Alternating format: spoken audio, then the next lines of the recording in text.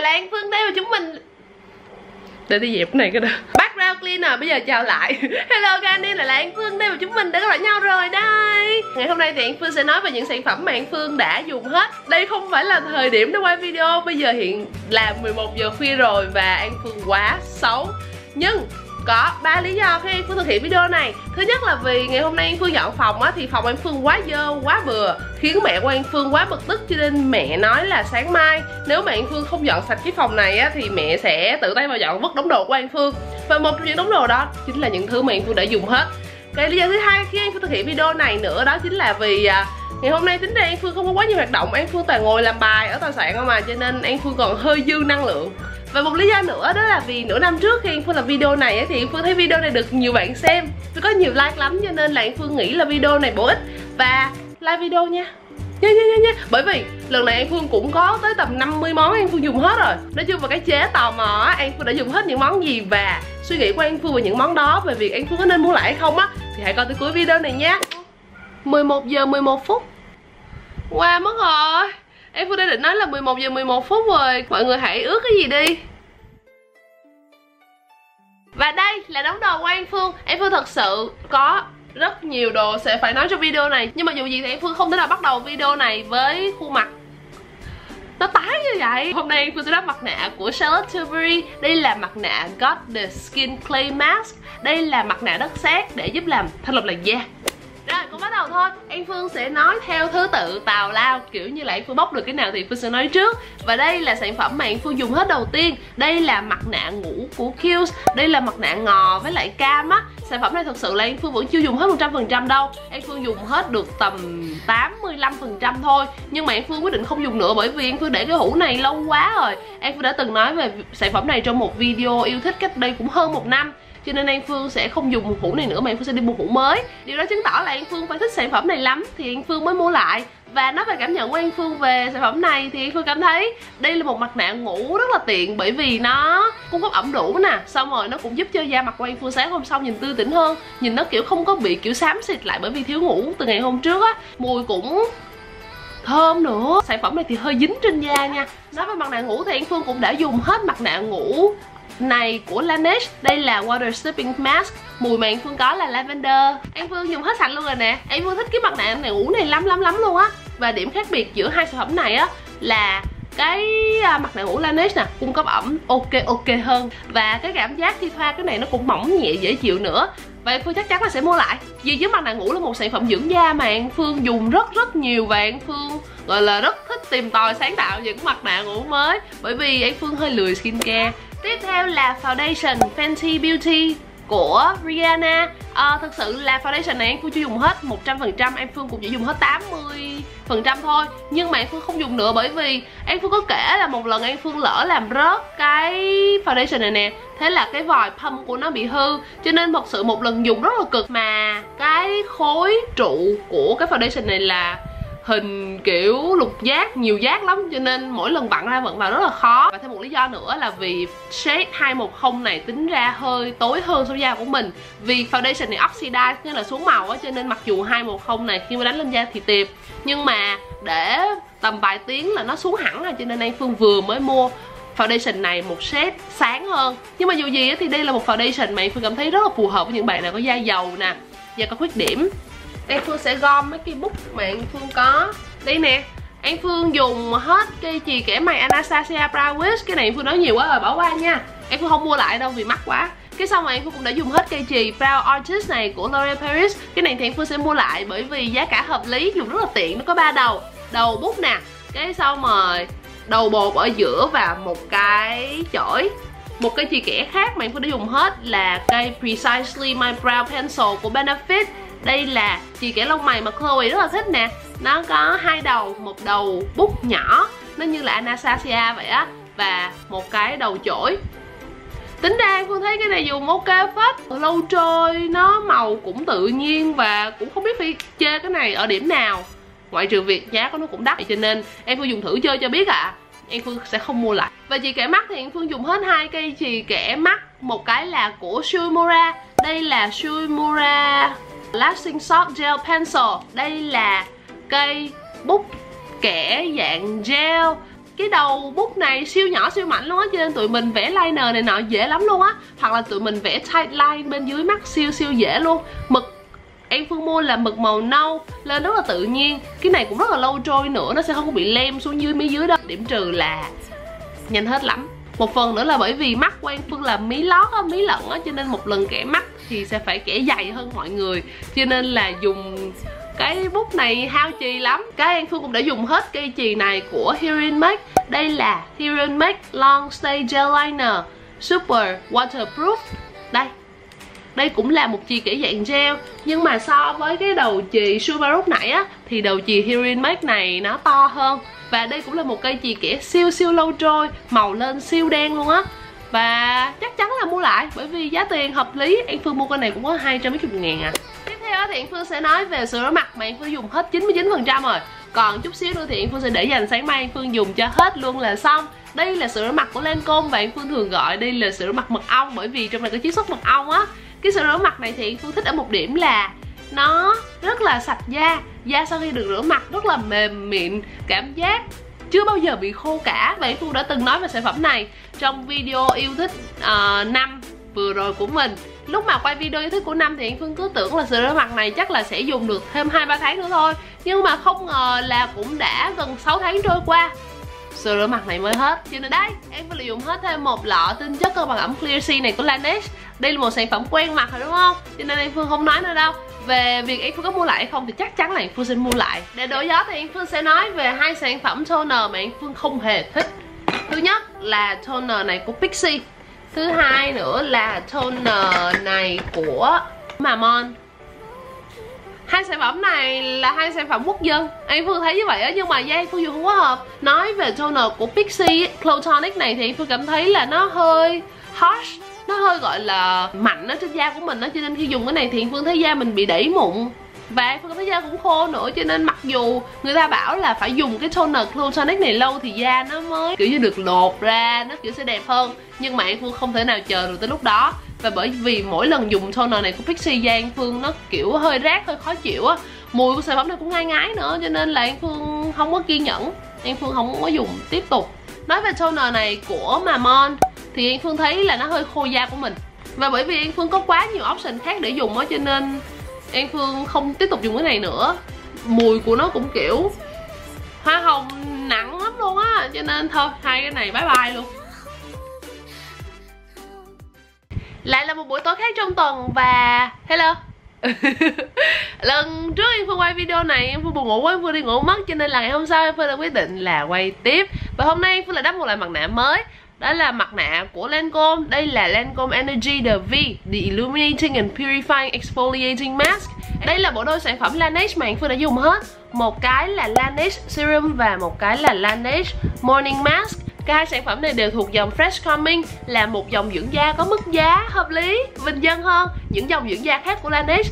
Và ở ờ, anh Phương cảm thấy đây là một dòng sản phẩm mà nó dịu nhẹ nó đem đến chức năng dưỡng ẩm là chủ yếu. Nó là dưỡng ẩm á, thì nhiều người sẽ tưởng là sản phẩm này dùng cho da khô nhưng mà thực ra bộ đôi sản phẩm này cái dòng sản phẩm này á sẽ phù hợp với những bạn nào có da dầu. Ví dụ như là serum này thì nó có kết cấu dạng gel á gel trong. Đó rất là nhanh thấm và khi thoa vào rất là mát da. Anh Phương thì thường dùng cái serum vào buổi sáng. Còn về morning mask này thì nói là mask thôi, Nhưng mà thực sự sản phẩm này là moisturizer, Là kem dưỡng ẩm á. Cho nên là đừng có để cái tên morning mask khiến mình bị lừa. Đây, khi mà xịt morning mask này thì em Phương thấy có rất là nhiều bọt. Và mọi người có thấy không? Nó đúng như kiểu gel moisturizer. Dùng cái này buổi sáng thích lắm luôn á. Về vì bản thân của An Phương có mua lại những sản phẩm này không thì An Phương nghĩ là An Phương sẽ không mua lại nữa bởi vì An Phương da có tuổi rồi. An Phương cần tập trung vào những cái vấn đề khác bên cạnh dưỡng ẩm nữa, cho nên đối với An Phương thì là không. Đây là dầu gội khô mà An Phương thích nhất. Đây là dầu gội khô của Moroccan Oil. Màu mà An Phương có là màu dark, màu tối, dành cho những bạn nào có tóc nâu tối như mình. Đây là một sản phẩm mà An Phương đã nói trong một video yêu thích của mình rồi. Về nó thì An Phương cũng chỉ biết nói là nó xịt da đầu rất là sạch cái xong mà cũng không để lại vệt trắng mùi rất là thơm. Cái cảm giác ban ngày nó không có bị kiểu cứng cứng hoặc là dầu dầu á. Không biết anh phương nói bạn có hiểu không nữa nhưng mà nhiều lúc anh phương dùng dầu gội khô. Mặc dù cảm giác lúc đầu sạch nhưng mà trong ngày thì nó bắt đầu bớt lại nó vừa cứng nó vừa dầu ghê lắm luôn á. Thì cái sản phẩm này nó không đem đến cho anh phương cảm giác đó. Cái điểm trừ của nó là nó quá mắc nó 500 ngàn một lọ này lận cho nên là uh, hiện giờ thì An Phương chưa có mua lại. Đây là phấn phủ mà An Phương đã dùng hết thật không ngờ được lại Phương đã dùng hết được loại phấn phủ này. Đây là phấn phủ RCMA No Color Powder. Đây là một phấn phủ siêu nổi tiếng và nhiều người nói đó là bạn trước của Laura Mercier Translucent Loose Setting Powder. Đối với Phương thì Phương cảm thấy nó không phải là dupe bởi vì phấn này quá trắng bên cạnh khả năng kiềm dầu ổn thì An Phương cảm thấy phấn này đánh lên rất là tự nhiên. Có nghĩa là An Phương một lần thoa rất là nhiều phấn này và trong ngày thì An Phương cũng retouch bằng phấn này nữa. Thì An Phương cảm thấy da mặt của mình không bị dày cộn phấn.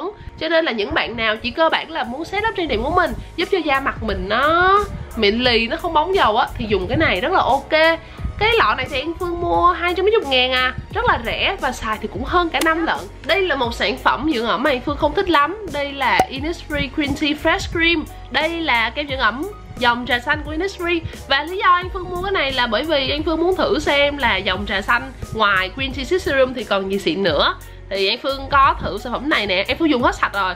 Nhưng mà thật sự là bản thân của An Phương sau khi dùng thì An Phương không quá thích, cho nên là An Phương sẽ không mua lại. Đây là một sản phẩm dưỡng ẩm cho da dầu.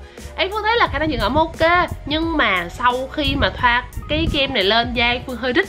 Cho nên An Phương cảm thấy đến một cảm giác hơi khó chịu với mình bởi vì An Phương đã dùng qua nhiều loại gel cream mà nó thấm hoàn toàn luôn á. Cho nên cái này đối với An Phương nó không thỏa mãn được cái sự thoải mái trên da của mình. Dưỡng ẩm tiếp theo mới là xịn nè, đây là dưỡng ẩm của Clinique, đây là Clinique Moisture search Extended Thirst Relief. Đây là một lọ và đây là một lọ tiếp theo. Cái này là của An Phương và cái này là của Đức. Cả hai tụi mình thì đều rất là thích kem dưỡng ẩm này.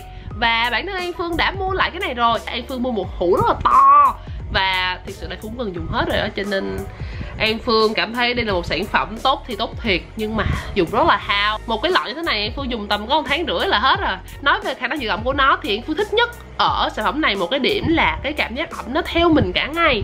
Không biết nhiều bạn như thế nào Nhưng mà An Phương là vì văn phòng máy lạnh á Cho nên là cứ đến tầm 4-5 giờ chiều là da mặt của mình đổ dầu. Nhưng mà cảm giác căng tức nó ở đó Đến một cảm giác siêu tệ. Bên ngoài thì dầu, bên trong thì khô. Cho nên là từ ngày dùng Clinic Moisture Search này thì An Phương bị ít cái cảm giác đó lại. Giang Phương vẫn có cảm giác đủ ẩm cho tới chiều. Tới tối thì chắc là không được rồi đó. Mùi hương thì rất là nhẹ dịu Và thoa một cái là thấm trên da liền. Bây giờ mình lại nói mặt nạ nha. Và đây là hai hũ mặt nạ của Kiehl's Mà An Phương dùng hết rồi. Ủa? Này nói rồi mà quên. Giờ An Phương nói về cái này. Trên tay An Phương là mặt nạ nghệ và cranberry seed của Kiehl's Đây là hũ mặt nạ mà An Phương đã nói tầm chắc năm, hai năm trước, lâu lắm rồi á và cũng như lọ màu xanh của Kiehl's thì lọ màu cam này Phương chưa dùng hết 100% Em Phương dùng hết chắc được 95% rồi. Còn một chút xíu nữa thôi nhưng mà nó khô quá cho nên là Em Phương không có dùng tiếp nữa. Em Phương định là mua hũ mới và điều đó chứng tỏ là Phương chắc chắn sẽ mua lại sản phẩm này. Bởi vì em Phương cảm thấy đây là một mặt nạ đất sét rất là lành tính. Cái công dụng chính của nó là giúp da sáng hơn. Thì khi thoa cái này Phương thấy da sáng hơn thật. Trong mặt nạ này thì có những cái hạt scrub bé bé, cho nên là khi rửa mặt An Phương cảm thấy da mặt được tẩy tế bào chết nhẹ. An Phương sẽ đổi gió một chút và nói về cái cục lăn khử mùi An Phương đã dùng hết. Đây là cục lăn khử mùi của geobo là một thương hiệu Roto nội địa Nhật á. Cái mùi mà An Phương có ở đây là mùi kiểu cam chanh một chút, cho nên là rất là dễ chịu. Và em rất là thích mấy cái lăn khử mùi của Jeobo. Một điểm là mùi hương của nó nó không có bị lăn khử mùi lắm. Nó rất là nhẹ nhàng tươi trẻ mà nó kiểu như là áo quần mình thơm thôi á. Về mặt mà chống mồ hôi thì không chống mồ hôi đâu nha mọi người. Nhưng mà được cái là khi dùng lăn khử mùi này thì An Phương không có bị mấy cái vệt ố vàng trên quần áo. Những ngày mà An Phương vận động nhiều thì chắc chắn là An Phương sẽ không có dùng cái này đâu. Nhưng mà nhìn chung hàng ngày dùng cái này rất là ok, rất là xinh nữa chứ. Không có ai biết là lăn khử mùi hết. Một sản phẩm khác mà em phương đã dùng hết là một sản phẩm siêu quen thuộc luôn. Đó là tinh chất chống nắng của Nivea. Đây là Nivea Sun protection White Oil Control Sun Protection Serum với SPF 50 cộng và PA 3 cộng. Đây là một sản phẩm mà em Phương review rất là nhiều lần rồi. Và bản thân Quang Phương cho đến bây giờ vẫn cảm thấy thích nó bởi vì giá tiền của rất là hợp lý và An Phương cảm thấy là những gì mà nó làm được cho làn da của An Phương thì nó hợp lý với số tiền của mình bỏ ra. Đây là một trong những kem chống nắng bình dân mà An Phương thấy có khả năng kiềm dầu rất là ổn, cho nên là An Phương recommend kem chống nắng này. Tinh chất chống nắng này mới đúng chứ, cho những bạn nào có da dầu, dùng cái này cảm thấy rất là khô thoáng trên da. Mùi hương của sản phẩm này cũng dễ chịu và bao bì nó cũng kiểu nhỏ xinh nhẹ nhàng gọn gàng á, cho nên là cầm đi đâu cũng rất là tiện bên cạnh việc dùng sản phẩm này như kem chống nắng á, thì anh phương cũng dùng nó như là lớp lót trang điểm nữa. Về chuyện mà anh phương có mua lại không thì anh phương sẽ không mua lại bởi vì anh phương có nhiều kem chống nắng quá. Anh phương lại dùng xong hết một chai Innisfree Green Tea Serum khác trong cuộc đời. Đây là một sản phẩm mà Phương đã nói rất là nhiều lần rồi. Công dụng chính là dưỡng ẩm rất là nhẹ nhàng dùng sáng tối đều ok. Em Phương dùng chắc đây là lọ thứ tư của mình rồi không biết nói gì hơn. Thôi qua sản phẩm khác nha. Cho tới bây giờ thì An Phương vẫn cảm thấy đây là một chai tinh chất vô dụng bởi vì nó không làm được gì cho da của mình hết. Đây là tinh chất TLC Framboos Glycolic Night Serum của Drunk Elephant. Cái lọ này An Phương nói rất là nhiều lần rồi. Lúc nào nói về nó thì An Phương cũng, kiểu, nói với các bạn là An Phương có một niềm tin, hy vọng là nó sẽ giúp ích gì cho da của mình. Nó sẽ giúp da của mình, kiểu, sáng lên, da của mình được, kiểu, mịn màng nọ hơn. Nhưng mà sau khi dùng hết rồi thì An Phương vẫn cảm thấy da của mình không có sự thay đổi nào hết. Chắc là bởi vì cái này nó nhẹ nhàng quá hả? Không ăn thua gì với Good Jeans của Cinderella mà Phương đã từng dùng hết. Mùi của nó thì cũng không có thơm tho gì nữa chứ. Không biết là còn à còn một chút xíu nè. Mặc dù là cái tinh chất này, kết cấu của nó nó dễ chịu phết, nó kiểu gel rất là mỏng thôi. Nhưng mà vì nó không làm được gì, cho nên là chắc chắn anh phương sẽ không mua lại nữa đâu. Trong vòng nhiều tháng qua thì Anh Phương cũng đã dùng hết chai tinh chất này của Cinderella Đây là Cinderella CEO Rapid Flash Brightening Serum. Đây là một serum làm sáng da của Cinderella Nói về Cinderella thì Anh Phương chỉ thích Good Jeans và Luna Oil thôi. Anh Phương dùng cái CEO này thì Anh Phương cũng thấy nó không ờ, thực sự xịn lắm nó sáng da có một chút và nó không thực sự sáng da kiểu lên tông hoặc là như thế nào đó, đặc biệt bất ngờ. Cho nên là phương sẽ không mua lại nó đâu. Nhưng mà nói chung thì đây vẫn là một serum làm sáng lành tính. Em phương cảm thấy da của mình nó không có thật sự quá khá lên đâu, nhưng mà nó cũng không hề tệ đi. Cho nên là nếu những bạn nào muốn duy trì tình trạng da trắng sáng hiện giờ của mình thì dùng cái này ok. Sản phẩm tiếp theo không phải là một sản phẩm em phương đã dùng hết, nhưng mà em phương quá thất vọng em phương không dùng nữa. Đó là gel kẻ mắt này của Tony Moly đây là gel cái mắt quốc dân. An Phương biết về sản phẩm này sau khi mà An Phương xem uh, Pony dùng. Cái này lem nhanh lắm lắm lắm lắm luôn á. Cái mí mắt của An Phương là một mí mắt siêu dầu cho nên là từ trước đến nay An Phương thấy chỉ có mỗi gel kẻ mắt của Inglot là có thể trụ được một cách xuất sắc và hoàn hảo trên mắt của mình. Còn lại những gel khác không ăn thua lắm và đặc biệt gel này thì càng không ăn thua nữa bởi vì An Phương mới kẻ có một vài tiếng nữa lem xuống dưới đây rồi cho nên chắc là vì chị Pony ở Hàn Quốc, thời tiết mát mẻ cho nên là gel kẻ nó giữ nguyên hả? Chứ mà sorry, cái này ở Việt Nam không ăn thua rồi đấy chế ơi. Nãy giờ tính ra là anh Phương hơi mạnh mồm, chế hơi nhiều chút, bây giờ anh Phương khen lại nè. Đây là bột tẩy tế bào chết mà anh Phương yêu quý nhất và anh Phương chắc chắn chắc chắn sẽ mua lại. Đây là bột tẩy tế bào chết của Tatcha. Đây là Tatcha Polish Classic Rice Enzyme Powder nói về cách dùng của sản phẩm này thì mỗi lần dùng An Phương sẽ, kiểu, đổ một ít ra tay. Sau đó An Phương sẽ trộn bột này với lại nước, hoặc là An Phương sẽ trộn bột này với lại sữa rửa mặt mà An Phương dùng. Cái xong An Phương massage trên mặt thôi. Những ngày mà điệu hơn á, thì An Phương sẽ kết hợp sản phẩm này, sữa rửa mặt, cùng với máy rửa mặt Forio để mà giúp da của An Phương được sạch sau một cách hoàn hảo nhất điều mà em phương thích nhất là mặc dù bột tẩy tế bào chết này tẩy hiệu quả nhưng mà nó không có khiến da mình bị khô đi, không hề khô đi một chút nào luôn á. Mỗi lần tẩy tế bào chết xong á là da của an phương kiểu sáng láng mịn. Một tuần thì chắc là an phương cũng phải dùng bột này tầm hai lần lận. Tóm lại thì đây là một sản phẩm hay ho, mà thật sự nó rất là khác biệt so với những sản phẩm tẩy tế bào chết khác trên thị trường. Cho nên những bạn nào mà chán dùng mấy cái scrub thông thường á thì nên thử qua cái này đi. Sẽ cảm thấy hoàn toàn hoàn toàn khác tiếp theo thì anh Phương sẽ nói về một số sản phẩm mini của Laneige mà anh Phương đã dùng hết trong những đợt mà anh Phương đi du lịch. Ở đây anh Phương có sữa rửa mặt multi cleanser light. Cái sau mà anh Phương có skin refiner dầu moisture. Anh Phương cũng có skin refiner dầu light nữa. Và anh Phương thích cả ba sản phẩm này. Nói về sữa rửa mặt này thì Phương cảm thấy đây là một sữa rửa mặt rất là nhẹ dịu. Uh, nó kiểu basic làm sạch da này nọ thôi. Nhưng mà cảm giác để lại thì nó không có bị khô căng cho nên An Phương dùng cái này trong những cái đi du lịch rất là thoải mái kiểu nó rất là nhẹ nhàng cái làn da.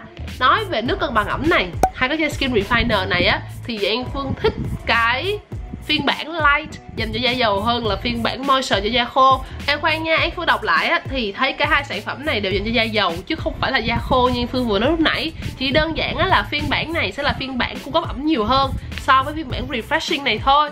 An Phương có được những cái sản phẩm mini này trong cái set skincare du lịch của Laneige.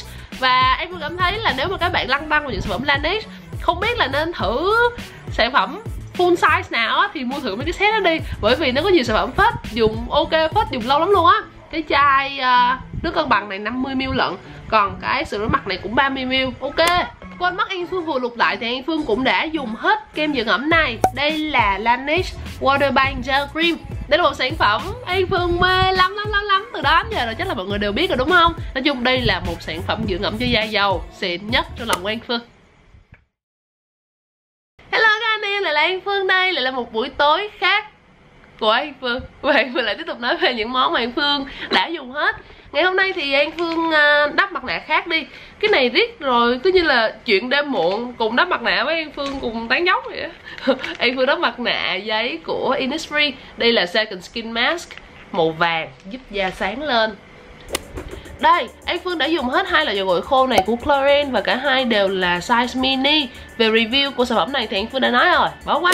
Đây là một số sản phẩm dưỡng ẩm mà An Phương đã dùng hết. Đầu tiên An Phương sẽ nói về Ultra Repair Cream. Đây là kem dưỡng ẩm mà An Phương tin dùng rất là lâu năm rồi và An Phương thường dùng kem dưỡng ẩm này vào những dịp mà da An Phương bị kiểu siêu khô hoặc là kiểu bị kích ứng với thời tiết bị dưỡng mẩn đỏ khô khô á. Cách đây vài tháng, hình như cũng đầu năm á, da Phương không biết bị gì khôi là khô luôn cái xong rồi ngứa xong rồi bị gì không biết nữa. Sau một tháng liên tục dùng kem dưỡng ẩm này thì An Phương thấy da của mình khá là rất là nhiều. Nó trở về trạng thái bình thường. Thì à, sau khi mà da phục hồi lại rồi thì An Phương cũng không dùng cái tiếp này nữa. Và An Phương lại chuyển qua dùng những cái loại gel cream mà An Phương thường dùng vào những ngày hè thì nó sẽ thoải mái hơn. Cho nên tóm lại An Phương sẽ recommend sản phẩm này cho những bạn nào có da khô, cho những bạn nào có da siêu siêu nhạy cảm, hoặc là những bạn nào hay gặp tình trạng da bị mẩn đỏ, dưỡng này nọ. Nói chung là hơi khó chịu một chút thì cái dưỡng ẩm này ok. Kết cấu cái dưỡng ẩm này thì hơi nặng chút xíu nha anh Phương rất là thích kem dưỡng ẩm. Này của Innisfree Đây là Innisfree Orchid and Rich Cream. Đây là kem dưỡng ẩm hoa lan, Siêu siêu siêu nổi tiếng của Innisfree Nói về kem dưỡng ẩm này thì nhiều người kêu nó sẽ phù hợp cho những bạn nào có da thiên khô. Nhưng bản thân anh Phương là da thiên dầu, dùng cái này thấy rất là hợp. Mặc dù kết cấu của nó hơi đặc, tưởng là nó sẽ bí trên da, nhưng mà khi thoa lên thì thấy không bí gì hết. Thấm cũng nhanh, cảm giác chung là siêu độ ẩm luôn á. Cho nên An Phương chắc chắn là sẽ mua size lớn và dùng vào buổi tối. An Phương cũng đã dùng hết tiếp kem dưỡng ẩm này của Embryolis. Đây là một thương hiệu đến từ Pháp. Sản phẩm này An Phương dùng lâu lắm rồi và An Phương dùng nó với ba công dụng chính. Thứ nhất là dưỡng ẩm trước khi make up, Thứ hai là làm mặt nạ dưỡng ẩm ban đêm, Và thứ ba nữa là tẩy trang. Cái công dụng tẩy trang thì An Phương chưa dùng nhiều lắm đâu, cho nên là thôi An Phương không có bàn luận tới nó. Nhưng mà về việc dùng cái này như là moisturizer, cái dưỡng ẩm trước khi make up, kiểu như là dùng như primer á, thì An Phương thấy tốt thật sự luôn á. An Phương cảm thấy là vì cái này nó cung cấp ẩm một cách rất là nhẹ nhàng và nó giúp da của mình trông kiểu healthy, căng bóng hơn. Cho nên là lớp make up của An Phương nhìn rất là mướt cho nên An Phương chắc chắn là sẽ mua lại tiếp kem này. Quên mất An Phương chưa nói về hiệu quả của nó. Khi dùng sản phẩm này như là mặt nạ, dưỡng ẩm, thì An Phương thấy là những bạn nào mà sống ở vùng lạnh, nơi có khí hậu hơi khô hanh dùng cái sản phẩm này như mặt nạ, ok hết á ẩm lắm lắm lắm luôn á. Đợt vừa rồi khi đi Đà Lạt thì anh Phương có đắp cái này một lớp dày ban đêm khi ngủ và sáng hôm sau thì da của An Phương rất là mướt. Kem dưỡng ẩm cuối cùng mà anh Phương sẽ nói đến là kem dưỡng ẩm của Tatcha. Đây là Tatcha Moisture Rich Silk Cream. An Phương rất là thích Tatcha nhưng mà sản phẩm này thì An Phương không thích lắm bởi vì An Phương thấy nó bình thường quá, nó không có gì quá đặc sắc. Cho nên An Phương cảm thấy rất là vui khi mình chỉ mua dùng thử cái lọ mini này thôi. Packaging của Chacha đầu tư thật sự một cái lọ kem dưỡng ẩm mini bé tẹo như thế này thôi mà nó rất là chắc chắn, cầm rất là nặng tay, cảm giác siêu sang trọng. Nó không có kiểu nhẹ mà nhựa như là cái Innisfree này đâu. Cho nên là đối với những bạn nào mà muốn kiểu nuông chiều bản thân á thì Tatcha là một thương hiệu xịn nhưng mà thôi Phương nghĩ là đừng mua cái uh, Moisture Rich Silk Cream này mà các bạn hãy mua cái dòng Water Cream thì phải. Cái dòng mà màu xanh ngọc ngọc á đẹp đẹp á anh Phương đọc review thấy tốt. Về sản phẩm Moisture Rich Silk Cream này thì An Phương cảm thấy là nó dưỡng ẩm cũng bình thường. Khi thoa lên thì An Phương thấy là nó không thật sự thẩm thấu vào da Mà nó như nằm ở trên da vậy á. Và giá tiền của một cái hũ kem dưỡng ẩm của Tatcha rất là đắt nữa cho nên nó không có đáng Đây là ba lọ kem chống nắng mà anh Phương đã dùng hết. Ở đây anh Phương có lọ đầu tiên là của Innisfree. Đây là Innisfree Extreme UV Protection Gel Lotion 60 Đây là một sản phẩm mà anh Phương đã review trong video top 5 kem chống nắng của mình rồi Cho nên là đặt xuống. Cái sản phẩm tiếp theo anh Phương dùng hết cũng đã nằm trong video đó luôn. Đó là Clarins UV Plus Anti-Pollution Day Screen Multi Protection. An Phương uh, dùng hết hai tiếp rồi. Một tiếp nhỏ nhỏ và một tiếp bự bự. Nhưng mà mẹ của An Phương vứt cái phần bự bự đi à. Cho nên đây là tàn dư còn sót lại của nó. Một cái này á, thì kìm dầu rất là ổn, rất là lâu trôi. Một cái này á, thì dùng làm makeup base, siêu mướt siêu mịn luôn. Nhưng mà cái này thì hơi đắt, cái này thì rẻ hơn, cho nên là tùy nhu cầu các bạn các bạn hãy lựa chọn cái nào phù hợp nha. Trong thời gian gần thì chắc là anh Phương sẽ mua lại kem chống nắng Clarins này, chứ anh Phương sẽ không mua lại kem chống nắng Innisfree này nữa. Bởi vì hiện anh Phương đang dùng kem chống nắng của La Roche-Posay, cái mà Anthelius Dry Touch cái đó kìm dầu cũng rất là ổn, rất là mỏng nhẹ và em Phương thấy nó cũng xịn như là cái này. Trong hai tháng vừa qua thì em Phương đã dùng thử serum này của Dior. Đây là Dior Capture Youth Plum Filler. Đây là serum đắt ơi là đắt An Phương mua loại này tại Takashimaya hết 2 triệu 750 ngàn. Cái số tiền nó quá cao, khiến An Phương nhớ mãi cho đến bây giờ. Và vì nó đắt quá cho nên là An Phương tiếc lắm luôn á, khi mà An Phương đã dùng hết nó sau 2 tháng. Nói về review của serum này thì An Phương lúc đầu không có thích đâu. Bởi vì An Phương thấy là nó không có giúp ích gì cho làn da của mình hết. Nhưng mà dùng sau 7 ngày, An Phương bắt đầu thấy tác dụng của nó. Plum filler có nghĩa là nó sẽ kiểu làm đầy á. Thì An Phương đặc biệt chú ý là nó giúp cho cái phần smile line của An Phương nè, Nhìn nó bớt hằng hơn. Cái xong rồi, nó giúp nhìn mặt nó plump nó căng đầy hơn. Kết cấu của serum này siêu mỏng nhẹ luôn. Và khi thoa ra, nó thấm trên da ngay lập tức. Mùi thơm thì hơi nồng, nhưng mà An Phương là thích cái mùi này. Plum Filler Serum này là một trong một loạt serum kiểu chống lão hóa sớm của Dior. An Phương có mua lại cái này không thì An Phương nghĩ là có. Nhưng mà An Phương đang muốn thử cái loại khác cũng trong series này luôn. An Phương muốn thử cái Matte Maximizer là giúp kìm dầu. Với cả là An Phương cũng muốn thử cái Glow Booster giúp làm da căng bóng hơn. Tiếp theo là một số primer mà anh Phương đã dùng hết. Đầu tiên là primer Veil Mineral Primer của Hourglass. Đây là loại mini. Tiếp theo An Phương cũng đã dùng hết một lọ lớn hơn, Cũng là cái primer đó của Hourglass luôn. Và An Phương cũng đã dùng hết sản phẩm Vitamin Enrich Face Base của Bobbi Brown. An Phương thì rất là thích hai cái lọ primer này rồi. An Phương chắc chắn là sẽ mua lại primer này Mặc dù giá thành của nó hơi cao một chút xíu Nhưng mà An Phương thích primer này ở một điểm là nó giữ make up của An Phương rất là bền Và màu make up lên rất là mới. Và An Phương cảm thấy nó cũng dưỡng ẩm rất là vừa phải nữa. Về sản phẩm này của Bobbi Brown thì An Phương cũng sẽ mua lại bởi vì An Phương cảm thấy đây là một sản phẩm rất là tiện lợi có thể dùng như kem dưỡng ẩm mà cũng có thể dùng như kem lót luôn. Trong này thì có những uh, thành phần như là shea butter xong rồi vitamin C and E và An Phương cảm thấy mặc dù cái kết cấu của nó rất là dày nha, Nhưng mà khi thoa ra không hiểu sao, nó thấm rất là nhanh. An Phương dùng liên tục sản phẩm này trong vòng cũng 4-5 tháng gì đó, Thì hết hũ này. Và cái mùi của nó thì lúc đầu em Phương không thích đâu, bởi vì nó hơi, cứ như là nước rửa chén á nó hơi mùi chanh á, nhưng mà càng dùng, càng thích. Dạo này Phương dùng hết rồi thì buổi sáng lại đâm ra nhớ cái mùi này. Một sản phẩm tiếp theo mà Phương chắc chắn sẽ mua lại đó chính là nước thần của Sum 37 Đây là Sum 37 Secret Essence. Em Phương chưa dùng hết lọ này nữa, nhưng mà em Phương phải vứt nó đi rồi, bởi vì nó hạn sử dụng rồi. An Phương kiểu thích cái nước thần này lắm, nhưng mà vì An Phương có nhiều thứ để thử quá, cho nên An Phương quên mất là phải dùng hết cái này. Thì à, đến khi ngó đi ngó lại thì cái này hết hạn rồi, cho nên là thôi, bye bye luôn công dụng chính của sản phẩm này là cung cấp ẩm cho làn da. Và em phương thấy là nó cũng giúp da mình trẻ hóa nữa. Tính ra da của em phương có tuổi rồi cho nên là bên cạnh cái việc dưỡng ẩm em phương muốn cái sản phẩm dưỡng ẩm đó, nó phải làm được nhiều hơn thế nữa. Và trong trường hợp này thì em phương thấy là nó cải tạo lại những cái vấn đề ngớ ngẩn trên da của mình. Ví dụ như là da không đều màu, ví dụ là da trong xám xịt. Nói chung là em phương có những trải nghiệm tốt khi dùng cái này. Và cách dùng của sản phẩm này cũng rất là dễ dàng nữa, tụi mình chỉ cần nhỏ một vài giọt, cái xong rồi thoa thoa đó lên mặt vỗ vỗ vỗ vỗ nó thẩm thấu và là xong rồi. Sau khi thẩm thấu thì phương thấy da của mình nó không có bị nhờn rít gì hết.